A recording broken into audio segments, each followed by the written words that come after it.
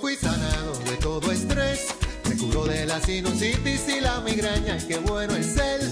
Me sacó de la depresión y ahora yo le bailo en un solo pie. Y no me duele la cinturita y qué rico en el cielo no hay hospital. Te aseguro que te quiere sanar, en su nombre te vas a levantar. En el cielo no hay hospital, en el cielo no hay hospital. Te aseguro que te quiere sanar, en su nombre te vas a levantar. En el cielo no hay hospital.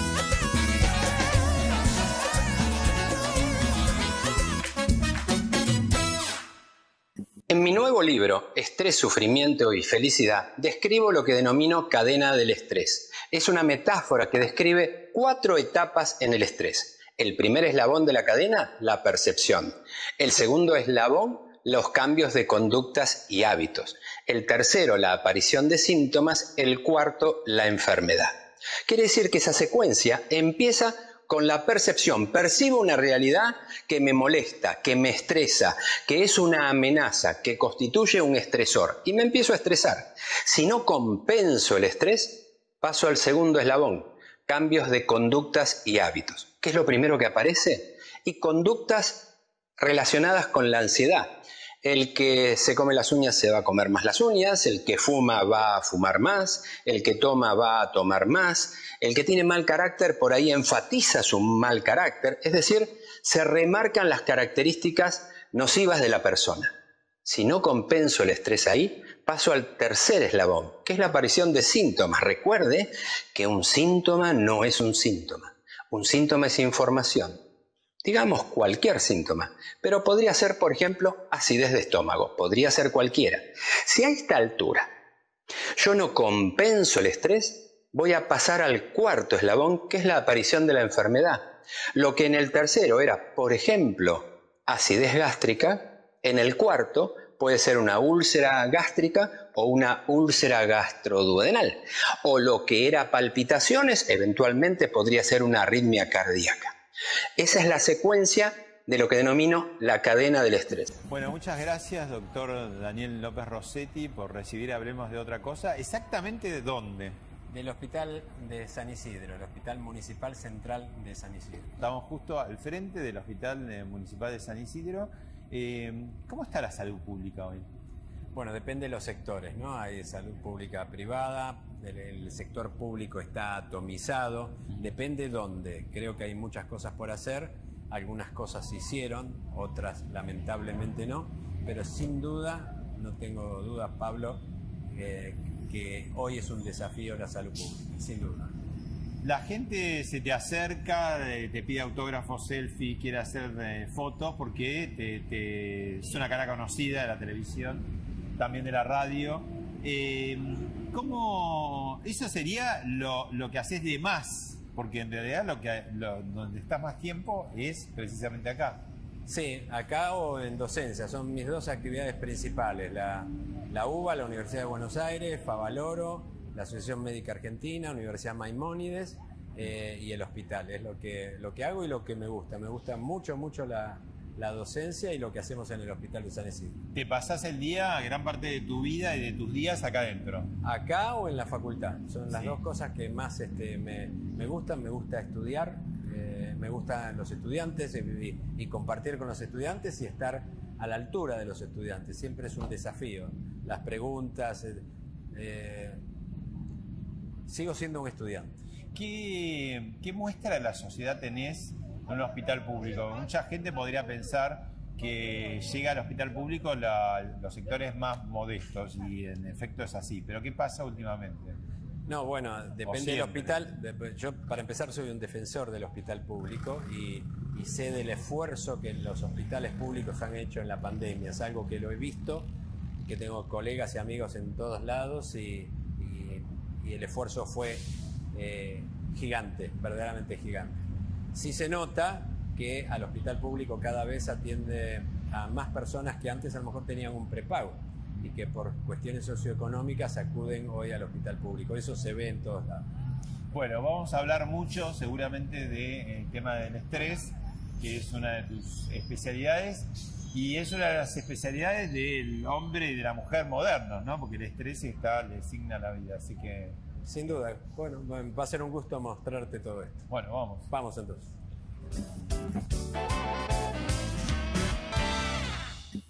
Bueno, ¿y ahora dónde estamos, Daniel? Eh, Pablo, ahora estamos en esto que es como una plaza lleno de aulas, es el área docente.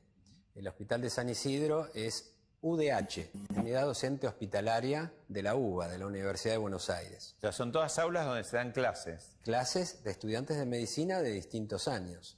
Entonces vas a tener, ahora justo es un intermedio, pero son todas estas aulas ocupadas, otra allá abajo, cuando no están viendo pacientes. Entonces hay todo un movimiento universitario que es muy lindo, obviamente para los estudiantes que están, tienen la suerte de poder estudiar medicina, ¿no? Pero también para nosotros que estamos con ellos, que compartimos, que nos toca clases, eh, todo eso hace que haya un ámbito de, eh, profesional, de compañerismo y académico que es muy que, reproduce conocimiento. Entonces, ¿Y, los edificios que vemos acá al lado, ¿qué, vendrían a ser? Bueno, en la planta baja están todos los consultorios externos, como los distintos servicios.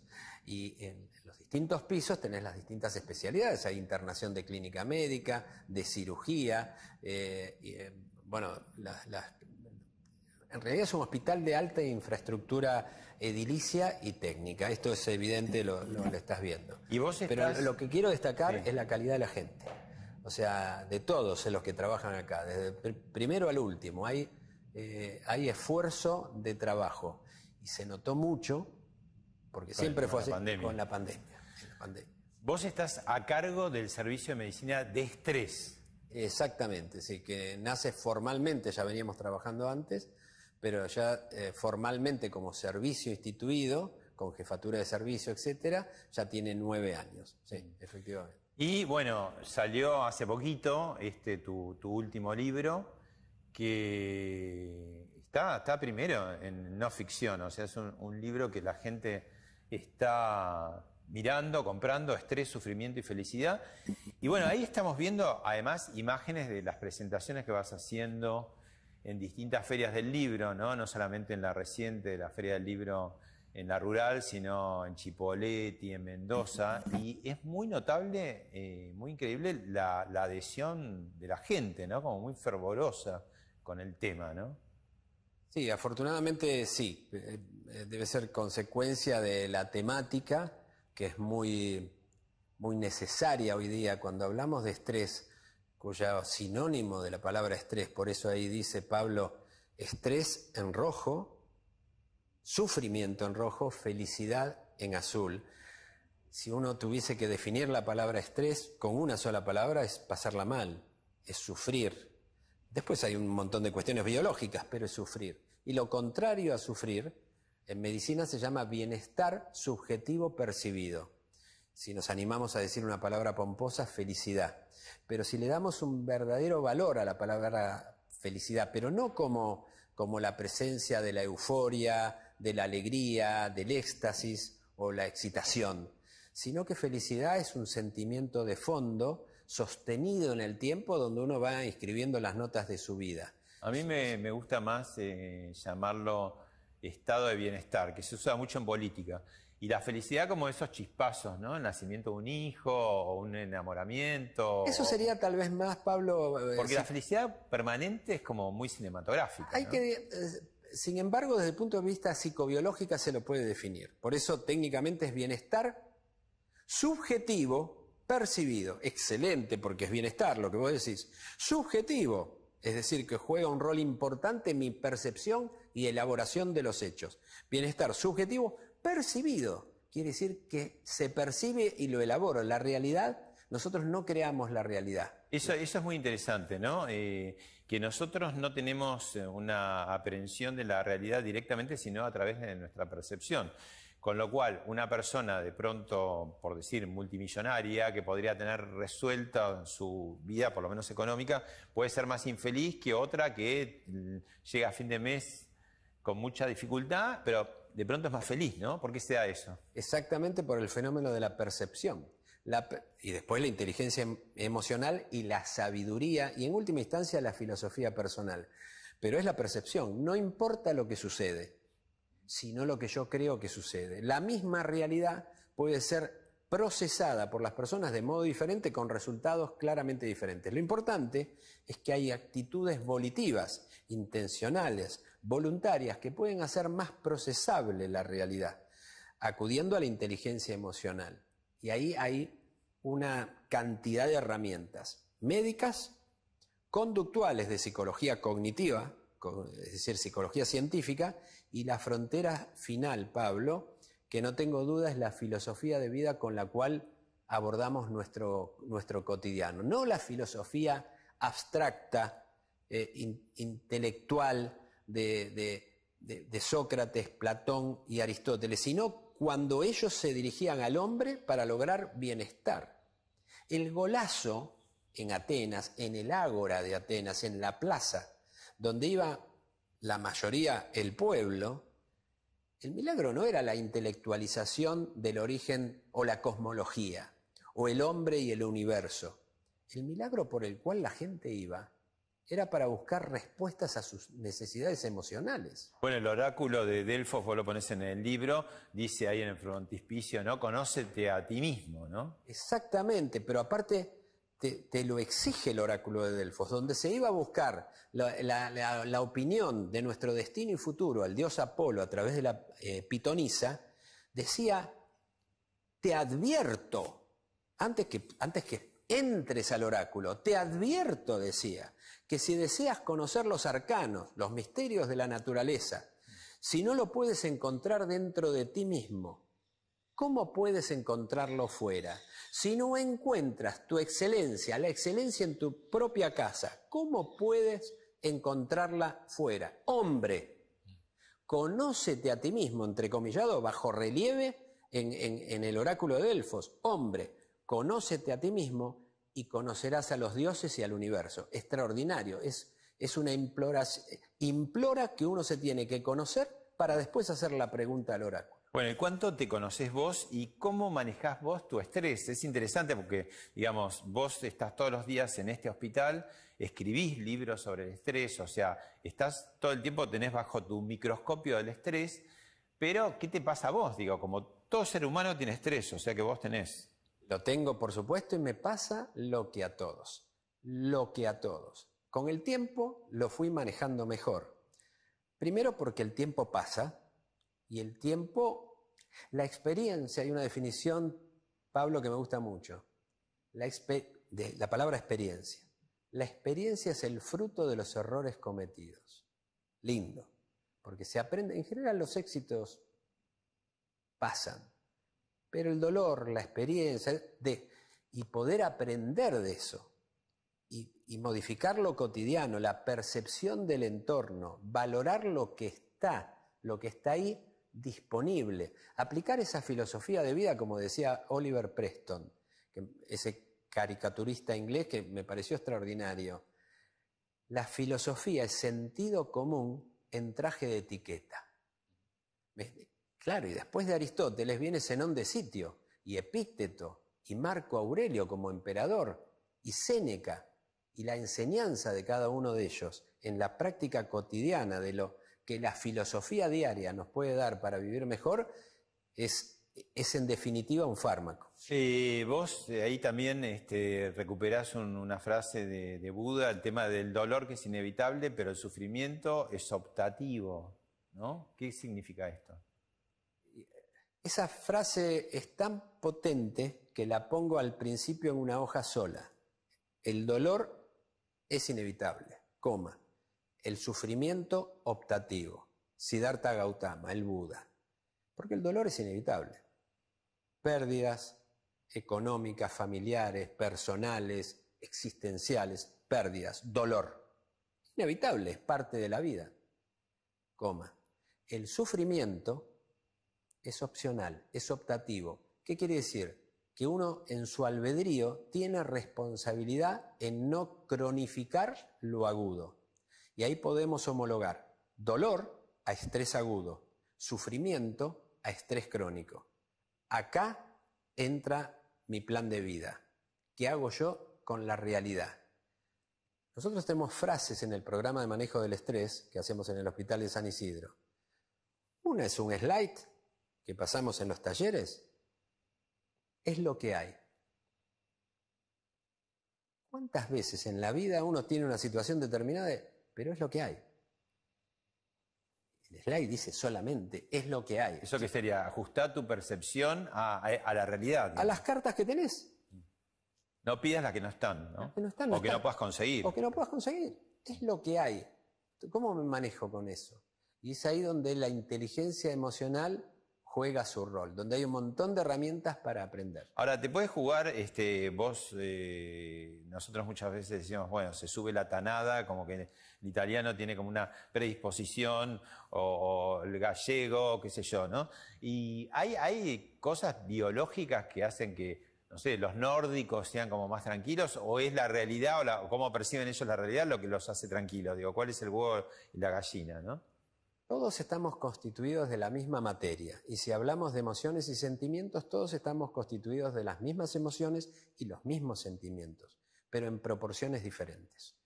Para empezar, Pablo, hay que distinguir las emociones de los sentimientos. Son dos cosas distintas. Las emociones se denominan básicas.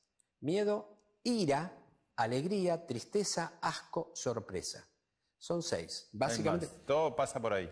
Miedo, ira, alegría, tristeza, asco, sorpresa. Tiene una característica. Uno, tiene rostro que lo expresa. Cualquiera que esté en casa ahora ponga cara de miedo, alegría, tiene rostro que lo expresa. Quiere decir que es un programa neurobiológico. Lo tiene el nórdico y los italianos, los españoles, nosotros. es biológico. Un ciego de nacimiento pone cara de alegría o de tristeza cuando siente alegría y tristeza y nunca vio ese rostro no lo aprendió, es parte de un programa biológico. Segundo, esa es la emoción, dura poco tiempo. Tercero, como se ve, es un fenómeno público, lo entiende el otro. Los sentimientos son otra cosa. Los sentimientos son una elaboración cognitiva de las vivencias que determinan una experiencia, una vivencia experiencial como amor, odio, culpa, vergüenza, orgullo, fe, esperanza, felicidad. Esos son sentimientos. Se prolongan en el tiempo, no se ven en el rostro, no se ven en el rostro, hay que expresarlo y pueden durar toda la vida, a diferencia de las emociones que duran poco. Ese nórdico que vos comentás, vos y yo, tenemos todo eso mezclado.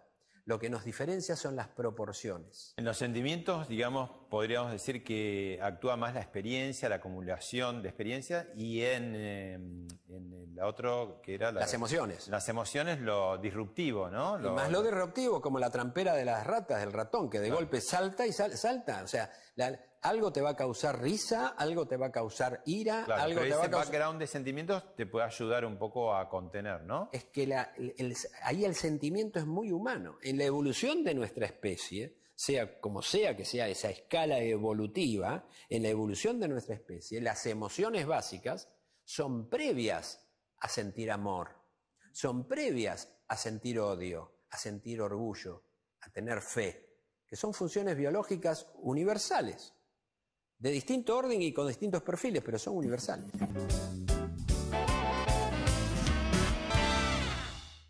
Bueno, ahora eh, llegamos a este rincón, ¿no? Y me da la sensación como si estuviéramos en Gran Hermano, ¿no? Ese cuarto donde iban y confesaban tener una cámara, veo incluso una cámara, ¿no? Y está como insonorizado, ¿no? Está preparado. ¿Qué? Sí, exactamente. Es un adiabático, es un, eh, un espacio como un ascensor más o menos grande, donde sentamos al paciente y se le colocan cables, es un estudio indoloro, por completo indoloro, que miden los cambios biológicos que se producen frente al estrés psicológico percibido. Entonces medimos frecuencia cardíaca, presión arterial, temperatura de la piel, tasa de transpiración, una derivación electroencefalográfica y con el software en el equipo desde afuera, porque el paciente queda acá con la puerta cerrada y lo vamos viendo con una pantalla desde afuera, nos comunicamos con él, eh, hace meditación, hace relajación psicofísica, hasta el punto que el software nos indica que está verdaderamente tranquilo. ¿Le producen eh, el efecto, digamos, efectos de, estrés artificiales o no? Sí. Por ejemplo. Cuando está absolutamente relajado y el software nos indica, Pablo, que se relajó, hacemos un test psicológico que se llama test de Elliot, que es un test aritmético, simple, estresa menos que cruzar una avenida al mediodía, pero el software lo mide. Entonces, de acuerdo a la reacción física que el paciente tiene, puede ser un reactor físico calmo o tenso.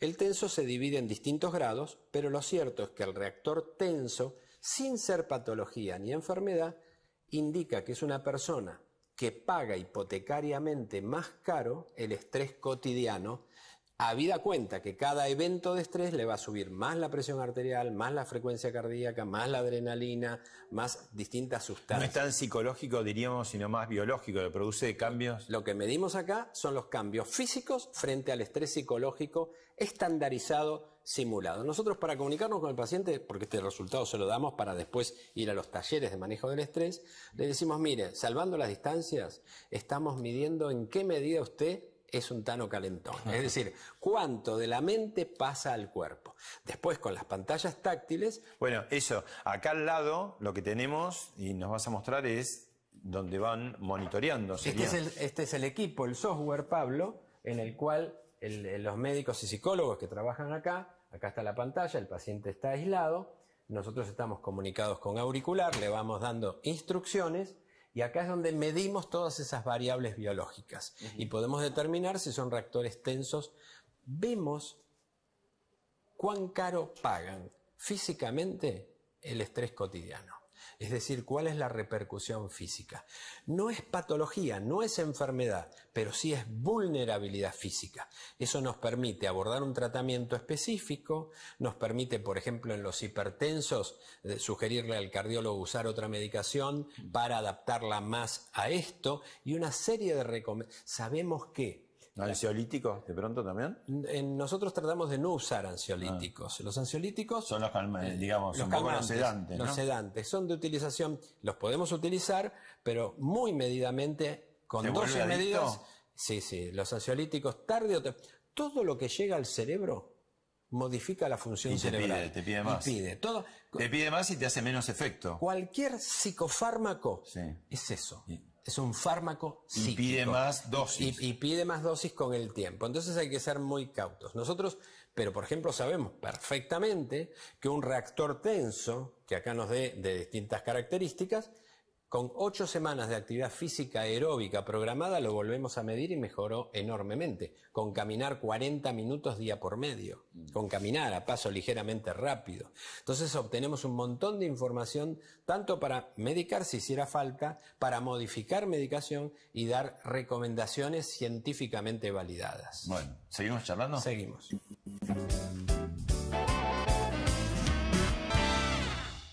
Vos recién eh, hablabas de la ira, que es un, sentimiento bastante recurrente. Una emoción. ¿Eh? Una, emoción, es inevitable. Sí, ahí estamos viendo algunas imágenes que tienen que ver con el incidente ese que hubo recientemente entre Alfredo Casero y Luis Majul. Que claro, ahí lo que se ve, bueno, es como una cosa explosiva por el lado del actor pero el sustrato también, yo no sé, digo, la emoción de casero, pero el sustrato no sé si empieza a ser un sentimiento que es eh, eh, casero como representante de, un sentimiento social que sería la indignación, que a veces también representan eh, algunos programas de televisión, ¿no? ¿Qué está pasando con eso en este país, en este momento? Indignación barra ira. Esa reacción fue una clara reacción de ira clara reacción de emoción de ira, donde hay eh, ingurgitación yugular, tensión muscular, eh, las cejas se ponen más profundas en la parte interna, se ven los dientes, hay un golpe, una reacción de ira que en determinadas condiciones es inevitable. Yo he tenido varias en mi vida y Pablo seguro también. Y los que nos están viendo, todos han tenido reacciones de ira. Todos. Sin un berrinche, un nene, es una reacción de ira. Lo que debemos entender, esto que nos pasa a todos, es que es un constructo psicobiológico prolongado que tiene grados. Quiero ser claro en esto para distinguir dos fenómenos. Ese constructo psicobiológico es una escala de colores, donde si bien está el ataque de ira, de los que repito he tenido varios en mi vida y creo que a lo mejor tendré alguno más, ataque de ira, pero ¿dónde empieza? Que es tu pregunta de fondo. Con un disgusto, con un enojo, con una contrariedad, con un ataque al orgullo, con una, es decir, es una escala de color que de un amarillo livianito se va haciendo cada vez eh, anaranjado, más intenso, más intenso, rojo, ataque de ira. Son grados. A veces es acumulativo, muchas veces. Es otras veces no, es explosivo directamente, ¿no? Sí, pero hay algo antes. Algo toca en determinada cuestión para que eso haga on-off. El ataque de ira es abierto cerrado, luz prendida o apagada, es on-off. El tema es abordar esto de un modo distinto. Esto muy fuerte en su tratado de ira, Seneca, su hermano novato, le dice, aparte de una frase extraordinaria, que es que la ira, un ácido que hace más daño al recipiente que la contiene, que sobre cualquier cosa que se la pueda vertir. Extraordinario.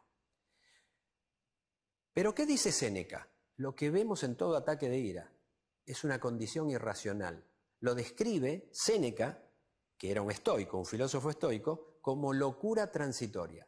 En una locura transitoria no hay forma de meditar o racionalizar la cuestión, porque uno tiene incapacidad de razonamiento a esa altura. Lo que uno puede hacer es trabajar sobre lo anterior que en escala nos lleva al ataque de ira. Es acá lo que aprendemos con el tiempo, con los años, con la experiencia o con la educación, que es, manejo el enojo, ¿cómo? ¿Por qué me enojo? Voy a abordar mi cognición de enojo. ¿Me estoy enojando porque me están diciendo la verdad o porque me están ofendiendo o porque es mentira? ¿Qué hago yo con eso?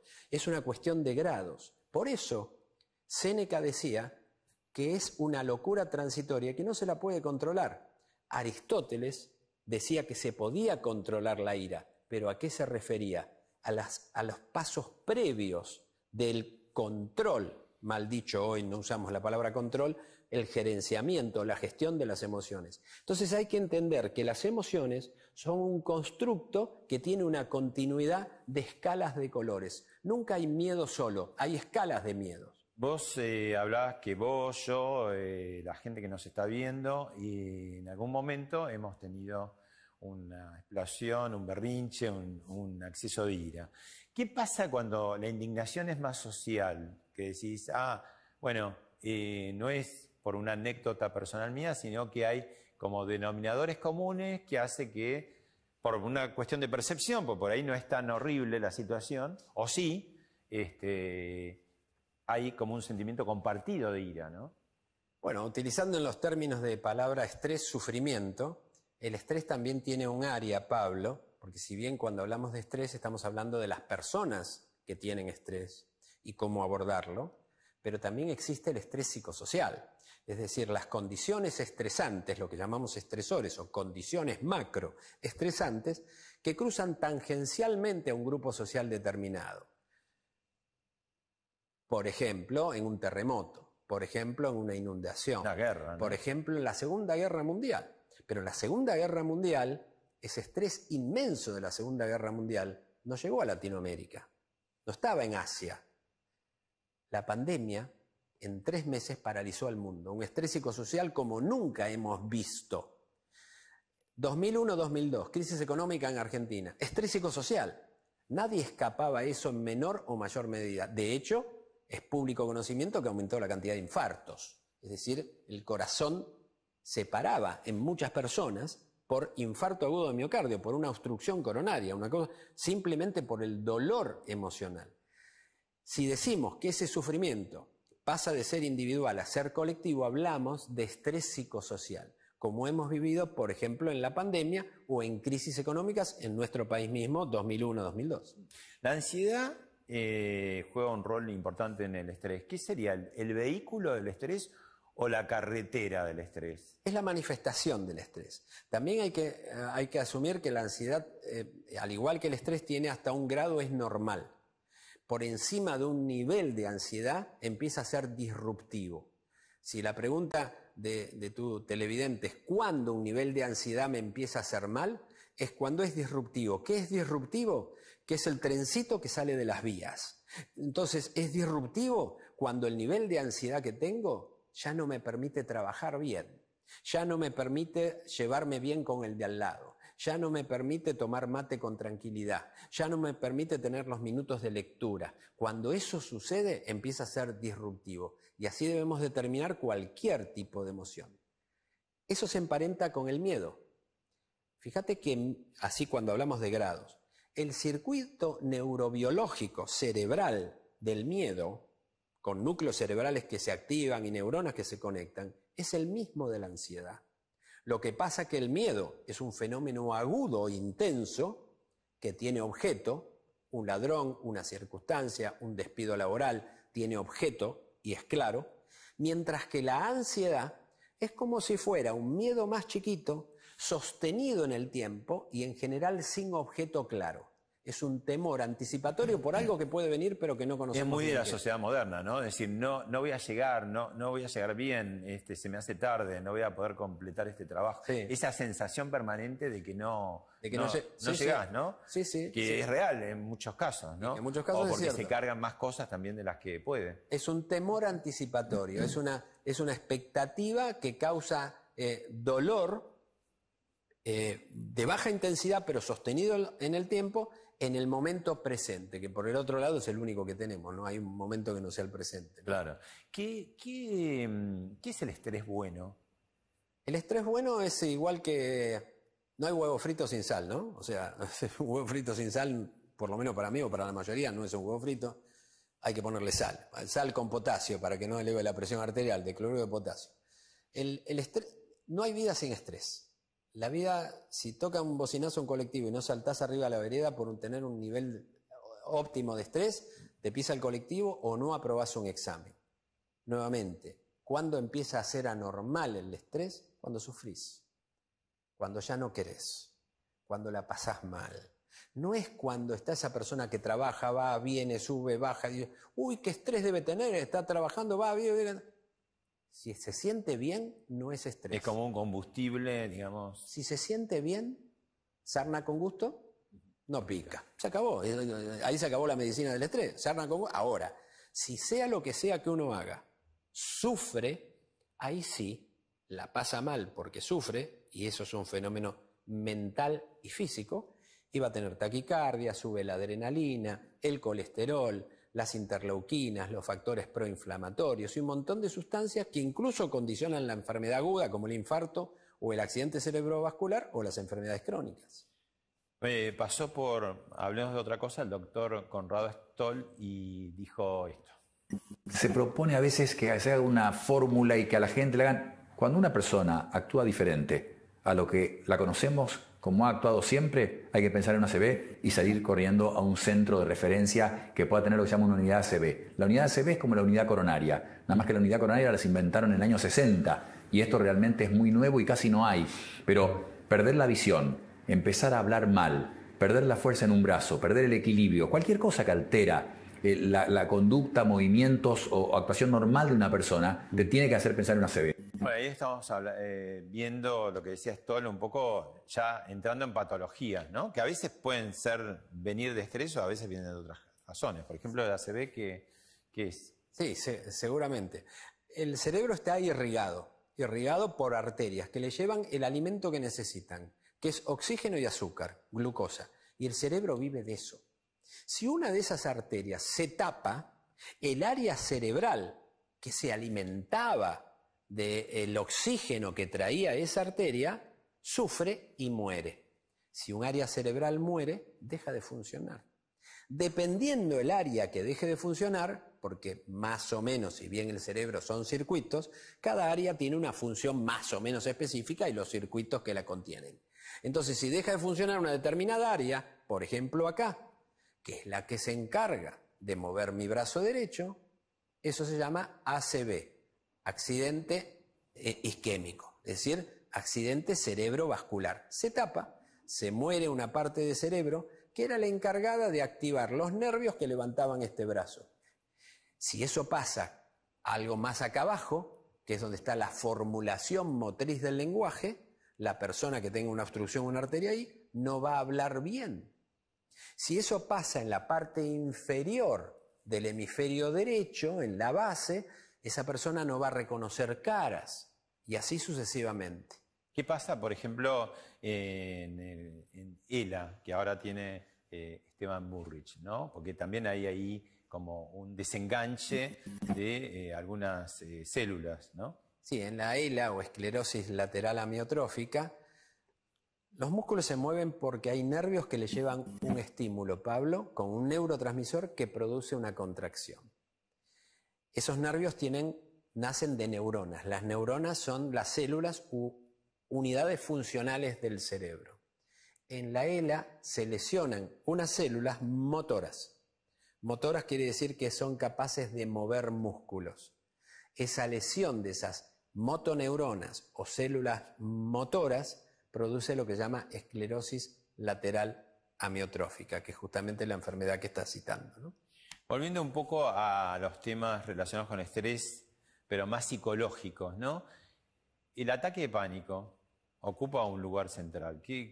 ¿Cuándo se tiene un ataque de pánico? ¿Qué, es? ¿El estrés ya eh, sin freno? ¿Qué sería?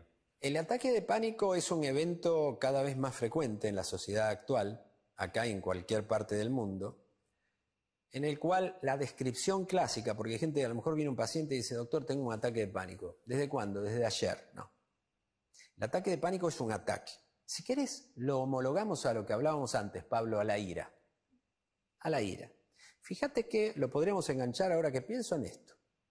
La ira es al enojo como el ataque de pánico a un cuadro de ansiedad. Hay varios cuadros de ansiedad distintos. Ansiedad social, ansiedad generalizada. un libro de clasificación, que es el DSM5 de clasificación de enfermedades psiquiátricas, brinda 11 variantes distintas de cuadros de ansiedad. Ahora, esos cuadros en determinada condición pueden tener una exageración por unos instantes o minutos, igual que un enojo puede tener un ataque de ira. Cuando un cuadro de ansiedad tiene una exageración explosiva, lo podríamos decir metafóricamente que es el ataque de pánico. ¿Qué es físicamente, clínicamente un ataque de pánico? Una sensación de miedo súbito, con palpitación, con sensación de muerte también, ¿no? Y, el, cuando describís el ataque de pánico, palpitaciones, malestar general, transpiración, elevación de la respiración, náuseas, sensación de mareo, sensación de que no veo bien, me agarro de despersonalización, tengo un alejamiento con... Y el último punto, sensación de muerte inminente. Horrible. En general dura pocos minutos. El apogeo del ataque de pánico desde que se inicia puede ser a los 10, 12, 15 minutos. Después empieza a bajar. Y en sí mismo es una entidad nosológica, es una enfermedad, pero está relacionado a cuadros de ansiedad. No sé si logré explicarme. Entonces también pueden prevenirse, no solamente pueden tratarse. ¿De qué manera? Con tratamiento de los cuadros de ansiedad, tanto con psicoterapia, tanto con medicación, tanto con actividad física, tanto con calidad de vida, para evitar que se produzca el ataque de pánico. Si la psicología cognitiva la psicología científica, psicológico, digamos, lo cognitivo comportamental ayuda mucho a manejar el pánico, dándole al paciente la posibilidad de tener noción de qué es lo que le pasa porque te agarra miedo. Crees que te vas a morir. Cuando empezás a saber que no te vas a morir, cuando empezás a saber que empieza con Hiperventilación. Hiperventilación. Entonces uno empieza a aprender a cortar esa opción. Esto es una cuestión que también ayuda al aprendizaje. Obviamente hay medicación crónica que se puede utilizar y también hay farmacología aguda de, de aplicación sublingual para cortar el ataque de pánico. Con una buena atención por médicos especialistas y con psicólogos es manejable. Cuando el estrés se vuelve crónico, ¿no? Se convierte en enfermedad. ¿Qué, tipo mm, de, consecuencias tiene? ¿no? Me interesa el tema de deterioro cognitivo, porque el estrés es como una suerte de desgaste, ¿no? Yo diría, a ver, los que somos conductores de auto, es como manejar pisando el embrague todo el tiempo, ¿no? Hans Elche, Pablo, quien describió el síndrome general de adaptación, nombre original del estrés, en 1936, un austrohúngaro, en 1957 en el primer Congreso Iberoamericano de Síndrome del Estrés, dijo que el estrés es la medida del desgaste vital. Lo que decís vos, apretando el embrague, desgastamos embrague, desgastamos motor, funcionamos mal. El estrés es un sobreesfuerzo continuo y el estrés que nos preocupa es el estrés crónico, el que es sostenido en el tiempo. Y las alteraciones que producen son diversas. También la sintomatología es diversa y es muy distinta en las distintas personas. Pero desde el punto de vista biológico, los daños son muy claros y generalmente en lugares muy importantes. Por ejemplo, la circulación arterial. De hecho, es un condicionante de aterosclerosis. De hecho, es un condicionante de infarto agudo de miocardio. Las arterias del corazón, que se llaman coronarias, arterias coronarias, en la parte de adentro tiene como un celofán transparente, se llama endotelio.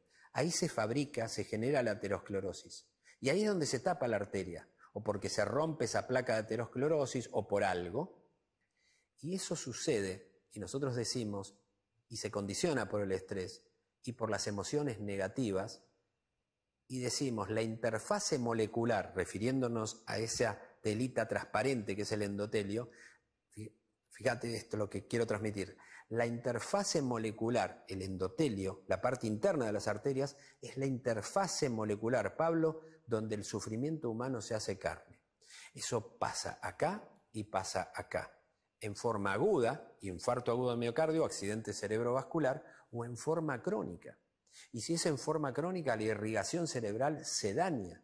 Y si hay aterosclerosis cerebral con disminución de irrigación cerebral, se daña la función neuronal y de ahí los déficits cognitivos.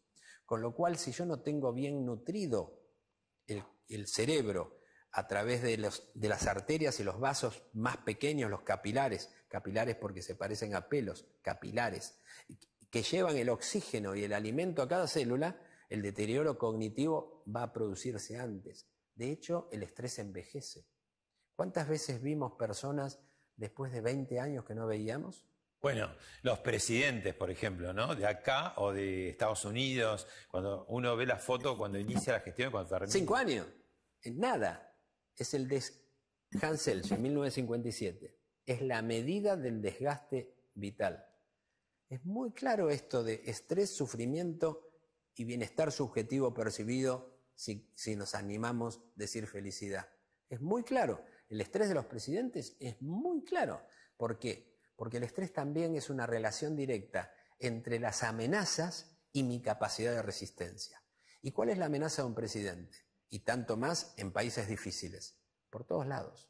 La percepción a la enésima potencia. A la enésima potencia. O sea, las causas reales, problemas reales y todos los que pueden llegar a venir, ¿no? Los que logra percibir y los que logra imaginar en forma continua, sin solución de continuidad. O sea, es este, las amenazas son continuas porque siempre hay una amenaza al proyecto político, cualquiera sea el proyecto político. Es de una situación, la política en sí mismo es de un desgaste inmenso, no solamente en presidentes, Podemos buscar diputados, senadores, personas, pero y, personas, digamos, no emparentadas con la política, cuando comento, cuando, seguramente hay gente que nos ve vía fulano de tal, después de 10 años, que la pasó mal en su vida, porque se separó por esto, por aquello, por lo otro, por cuestiones económicas, financieras, eh, penales, judiciales, eh, existenciales, emocionales, y uno lo ve avejentado. No es casual, sí, claro.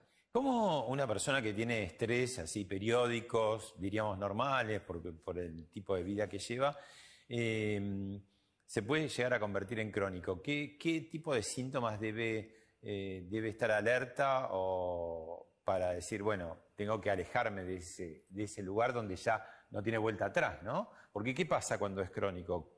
es una enfermedad que se cura o no? El estrés es un es una condición, es un síndrome, no es una enfermedad en sí misma. Condiciona enfermedades y puede gatillar enfermedades. Alguien por estrés puede tener un infarto, o acidez gástrica, o úlcera gastroduodenal. Pero antes de todo eso, tuvo malestar de estómago y tomó sal de fruta, o tuvo dolor de espalda y tomó un mío relajante, o tuvo dolor de cabeza y vive tomando analgésicos. Hay una frase que me gustaría aprovechar tu programa, Pablo, para transmitir. Provocativa. Un síntoma no es un síntoma. Un síntoma es información que el cuerpo nos envía para que sepamos que algo está funcionando mal. Vos venís al hospital para una atención, vos me decís tus síntomas, Pablo, yo no lo siento, pero para mí son información, me permiten hacer un diagnóstico. ¿Cuál es el médico que uno tiene más cerca? Uno mismo.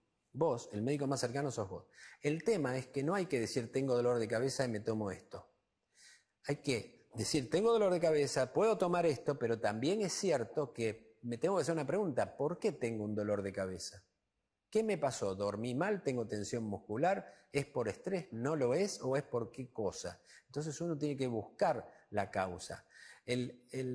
los síntomas son información y generalmente lo que más puede ayudar a las personas es que antes que aparezca la enfermedad concreta, una artritis, un problema neurológico, un problema cardiovascular, un problema digestivo, en general, si está relacionado con el estrés, viene precedido a pasarla mal por mucho tiempo, sufrimiento. Es decir, alguien que hoy sufre, si es estable en el tiempo, es muy probable que ese sufrimiento termine en una enfermedad concreta. Pero también es cierto que hasta entonces uno la viene pasando mal. No sé si me explico. Ahora, el, el mundo actual, multitasking, ¿no? De ventanas, digamos, del mundo de, las computadoras que se van abriendo ventanas, también eso sucede en la vida física, ¿no? Cada vez estamos más como atendiendo varios frentes a la vez, ¿no? Eso, eh, eh, ¿cómo, ¿cómo, neutralizarlo, cómo llevarlo mejor, digamos, ¿no? Porque es inevitable el estrés, especialmente en las grandes urbes, en la competencia, ¿no? Las grandes empresas, digo, hay, hay espacios que son todavía... Vos hablás algo muy interesante en el libro que es la ambición, que es otro de los grandes sentimientos del ser humano, que si está bien dirigida te conduce a la felicidad, pero si está mal dirigida te conduce al sufrimiento. ¿no? Todo esto, de este mundo de estrés, también está la ambición, ¿no? porque decir, no me quiero quedar atrás, quiero ganar más, quiero tener este premio, quiero tener este, el hijo más, más este, lindo de la escuela y con mejor nota. Digo, nos ponemos como, como vallas cada vez más altas, ¿no? Sí, eso pasa y es ahí donde la filosofía juega.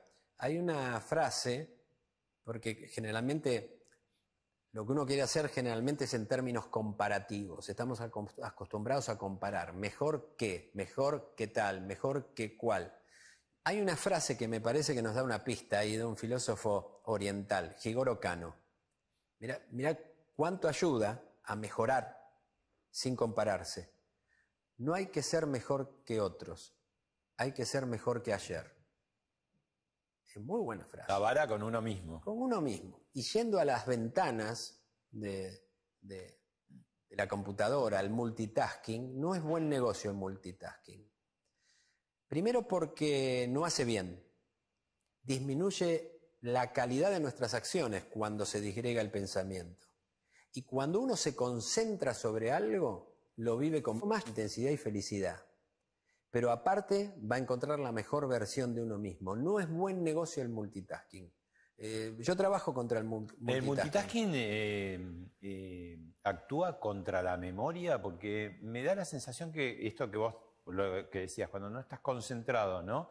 Y estás con varias cosas a la vez. La típica es la, dónde dejé las llaves, ¿no? Uno nunca está pensando exactamente si eso actúa de alguna manera, ¿no? Y por el otro lado, las alternativas, facilidades que te dan la, vida virtual, por ejemplo, Google.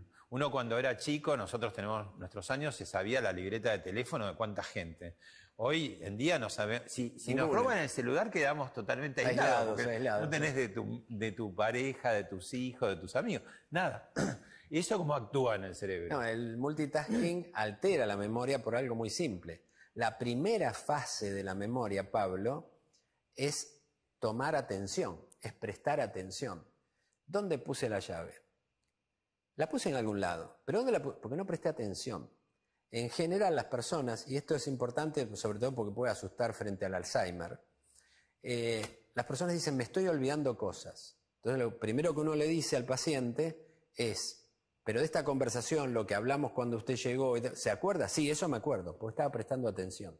La mayoría de las cosas, no, hay que olvidarse que uno es prestar atención, almacenamiento y después evocación para traer un recuerdo al presente.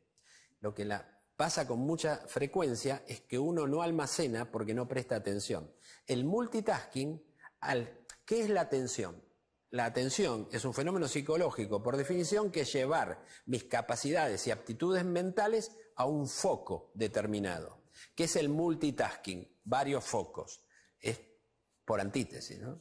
Te invito a ver ahora un vídeo. Por ejemplo, hoy tenemos ocho personas en terapia intensiva. En Comodoro las ocho están vacunadas. Entonces, pero eso, pero, vos sos preparador físico. nosotros estamos trabajando. Hay? Vos sos preparador físico. Y nosotros estudiamos 20 años la, en la estrategia de vacunación. Ayer hicimos un cruce de bases de datos, eh, justo ayer en la tarde, y, observamos que si dividimos a la población en, en, en, niveles, en quintiles de niveles socioeconómicos, los niveles más elevados eh, económicamente, los primeros tres, tienen una diferencia de seis veces superior en contagio con los niveles inferiores. Eh, vamos a tener que analizar mucho a futuro. Me parece que es un organismo. ¿Crees que fue errático? No, yo te voy a ser más sincero. Eh, la Organización Mundial de la Salud y muchos de los organismos internacionales hoy están muy, muy intrusados por los intereses de los grandes laboratorios multinacionales. Eso es grave. Los docentes y luego para comenzar las clases. Nosotros lo que decimos, y es lo que ha pasado en todos los países del mundo, que eh, se puede empezar de manera cuidada eh, la, presencialidad sin necesidad de estar vacunados. Bien. Por supuesto que sería ideal que lo estén. Pero digamos, se puede empezar como han empezado todos los países del mundo. Bueno, médicos oficiales, ¿no? Porque son todos este, funcionarios o incluso vigiladores ahora, algunos de ellos, eh, en tiempos de pandemia. ¿Cómo eh, la profesión eh, fue a la vidriera, obviamente, acá y en todo el mundo, ¿no? Este... Sí, fue un momento fuerte para todo el sector salud, un momento también con miedo, un momento, cuando uno hace memoria sobre los primeros días, teníamos miedo, no sabíamos si llevábamos el virus a casa, yo me tenía que cambiar cuando llegaba a casa, o, acá me acuerdo un día que una enfermera me dice, doctor, y yo estaba subiendo la escalera tocando el pasamano. Eh, creo que los médicos eh, jugaron un rol importante, pero a mí me parece muy central, Pablo, muy importante que puntualizar que el rol del médico en esta circunstancia de pandemia y siempre es informar con corrección y llevar tranquilidad. Es decir, me parece que el, centro es como mínimo, aún en temas que, no son coyunturales, como el tema de la pandemia o algo que sucede públicamente o periodísticamente, como mínimo es informar con corrección. Que esa información sirva para que las personas inicien un curso de acción positiva, y que lleve tranquilidad. Me parece que son las condiciones de una atención médica. Nos vamos a tener que acostumbrar ahora a que haya este, primera ola, segunda, tercera, vamos a perder los números, ¿no? Pero cíclicamente está pasando con el COVID eh, de que aparecen nuevas olas, ¿no? Sí, en caso de que no suceda algo extraño, no esperable, eh, ya vamos a perder el número de esto y habrá durado tal vez hasta fin de este año eh, con el posible advenimiento de nuevas vacunas que protejan. Hoy es claro, si una persona está vacunada, y yo le digo a las personas, ponga su mano acá, si usted está vacunado, tiene vacunación completa, esquema completo, ¿se puede contagiar? Sí. ¿Se puede enfermar? Sí, pero en general de acá para arriba. Dolor de garganta, eh, líquido por la nariz, rinorrea, un resfrío fuerte, un resfrío fuerte rojo los ojos, malestar general. Fiebre también. Fiebre pero si usted no está vacunado, desde acá para abajo, y acá para abajo están los pulmones. Con las vacunas actuales y un plan de vacunación completo, uno está muy protegido contra la enfermedad grave. Quiere decir que esto ya cambió, no es igual que al comienzo, no es igual cuando empezamos a ver esto en diciembre del 19. Estamos en una realidad distinta y se va a constituir como una enfermedad más, lo más probable. Eh, con la vacuna hemos pasado lo peor. Te, invito ahora a ver otro, otro video. Gracias Nayara Páez. Nayarita es una beba que estuvo ayer en el consultorio y me dijo, doctor Mario, los padres, ¿no? La corbata para usted la tiene que lucir hoy. Y acá está, cumplí. Señores, consúltenos sobre los siguientes temas. Primero, ah. Eh, yo estoy profundamente emocionado. El que me ve a mí en la sala de cirugía eh, pensará que yo soy un comandante o cosas así. No tolero la más mínima transgresión de ninguna naturaleza porque el paciente es el único privilegiado. Entonces, realmente en mi tarea soy tremendamente exigente, pero me emociono con tremenda facilidad. Hoy vamos a dar la dieta completa del día. o sea, lo que tiene que ver lo que puede comer una persona que está cuidándose durante todo el día. Con lapicera para anotar. Hay que anotar, ¿eh? Hay Sin que pasar anotar. hambre, eso es lo más importante. Entonces, No, no te morís de hambre, mira. nosotros vamos a hacer- Son seis comidas, eso es una cosa importante. Cuando un nene se atraganta, se atragantó, enseguida se va a agarrar el cuello así, o va a mover así, lo va a hacer azul y que está mal y que se ahoga. Lo primero que hay que hacer es mirarlo y decirle, ¿te estás ahogando? Le tenés que preguntar eso, parece una pavada, pero se lo tenés que preguntar, porque si el nene te dice que sí o te dice, ¡ah, ah, ah! quiere decir que el aire le pasa. Bueno, ¿qué, qué, nuevas cualidades o capacidades tiene que desarrollar un médico cuando va a la tele? Porque digo, ahí se está dirigiendo a un masivo público no especializado, o sea que toda la técnica que tienen ustedes de alguna manera la tienen que traducir y llegar, ¿no? Y ser este, al mismo tiempo como empáticos con la audiencia. ¿Cómo se logra eso? A mí me parece que eh, la televisión o la radio, eh, y siempre agradezco en Telefe donde, y en Radio Mitre, donde tengo dos consultorios grandes, en realidad es lo mismo. La, comunicación con vos en el consultorio sería básicamente la misma que si en lugar de estar Pablo hay una cámara. Hay que hablar igual, con la misma precisión y la misma simplicidad, sin palabras difíciles. Hay que llevar tranquilidad y de lo que uno le comenta al paciente debería cerciorarse que el paciente al llegar a la esquina se acuerda. Porque si uno dice palabras muy difíciles, complejas, vos llegás a la esquina del hospital ¿y qué me dijo? Entonces, ¿qué hago? Entonces me parece que hay que hablar fácil y escribir claro.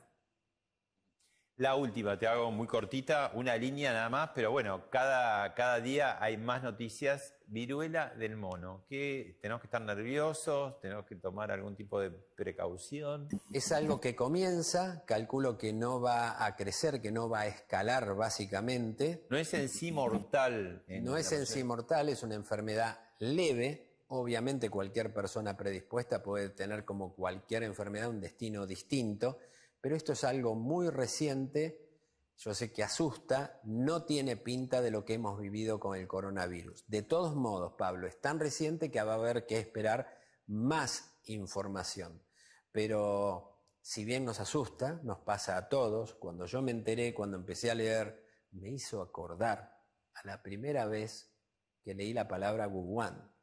Es decir, estamos sensibilizados, pero calculo que no va a llegar a esa circunstancia, o por lo menos creo, técnicamente, médicamente, que no va a llegar a esa circunstancia y humanamente no lo deseo. Eh, si me haces la pregunta, creo que va a pasar y espero no equivocarme porque es lo que deseo. Gracias, Daniel. A vos, Pablo, por la, por la charla.